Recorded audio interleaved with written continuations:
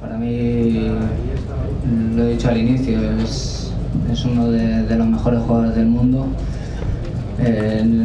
nos está dando muchísimo y, creo que ojalá y, Ney esté muchos años en el Barça porque sería una, una grandísima noticia para, el club y creo que, para él, por, su forma de jugar, por, por lo que le rodea aquí, por los compañeros que tiene y ese es mi único deseo, mi único deseo. No, veo que, 200 o 300 millones puedan ser más, más beneficiosos que, contar con él. Eh, para mí él es, es uno de los mejores y por lo tanto en mi equipo siempre quiero, quiero a los mejores y en ese sentido pues no hay...